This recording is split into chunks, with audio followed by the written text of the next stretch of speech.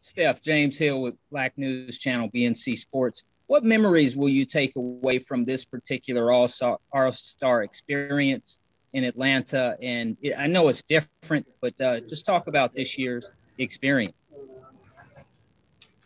I still appreciate just being here and enjoying being an All Star and what what you know the weekend usually means. And even with everything being different this year, I still had a, a, a great time out there. I still love basketball and um, yeah, it, it, drives you. Obviously, we want to win and be in the playoffs and in finals and chasing championships. But you know, along the way, some acknowledgement in terms of being an all star is pretty awesome.